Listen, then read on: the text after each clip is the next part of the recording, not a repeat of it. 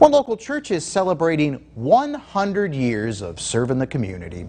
St. George Catholic Parish on Peach Street had a number of activities celebrating the big milestone. It all began on June 30th with a concert. Today, they celebrating by having Bishop Lawrence Persico hold the 430 Mass. They're also making about 300 crosses made out of the renovated stained glass windows. It's very humbling for me to be a pastor for the past five and a half year to end out this 100 years, but I'm very much looking forward to serving as pastor uh, beginning the next 100 years. And we've been fortunate to do a lot to revitalize the parish. We've done a lot of different ministries. Uh, we've had a lot of renovation projects. And they're celebrating the 100th anniversary all year, ending with a gala at the Ambassador Hotel. That's going to be in April.